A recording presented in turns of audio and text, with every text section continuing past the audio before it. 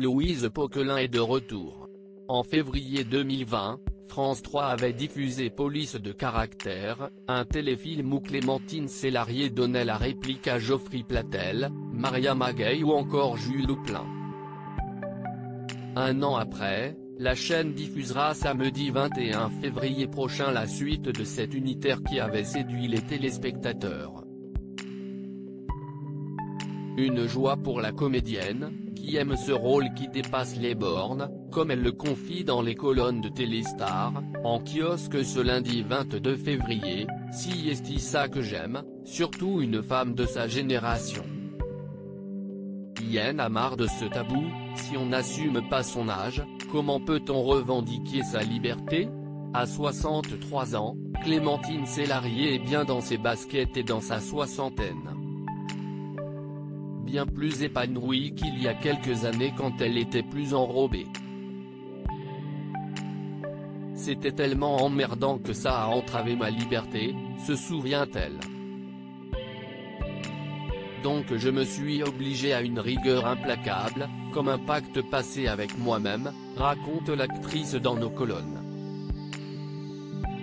Le centre de tout cela, si est-il la passion amoureuse que je nourris pour tout ce que je fais.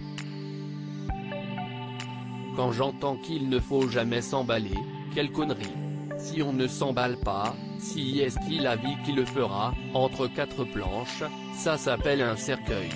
Clémentine Célarier s'emballe en tout cas pour police de caractère, post-mortem. Dans ce nouveau téléfilm, les téléspectateurs vont suivre l'enquête sur un meurtre déguisé en suicide qui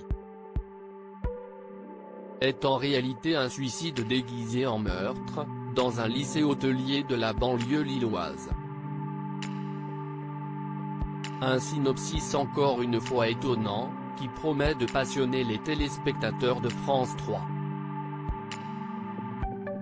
Et de ravir la comédienne, attristée par la période. Clémentine Célarier lance un appel au gouvernement sur l'antenne de BFM TV il y a quelques semaines, elle s'était vivement énervée contre la décision de fermer les lieux culturels, et notamment les théâtres, où elle jouait encore il n'y a pas longtemps. On n'a plus que tout besoin de se réunir vers la beauté. Les théâtres n'ont jamais été des zones dangereuses de propagation du virus, jamais. Ni les cinémas. Pourquoi nous traiter ainsi S'est-elle interrogée, estimant qu'il s'agissait d'un manque de respect pour tous les artistes et les personnes qui travaillent dans ce secteur. Clémentine Célarier lançait alors un appel au gouvernement, libérer les théâtres et les salles. Si est bien plus policé que dans les grands supermarchés où les gens sont agglutinés, ou dans le métro, où les gens vont travailler le matin et reviennent le soir, et sont les uns sur les autres. Si est absurde.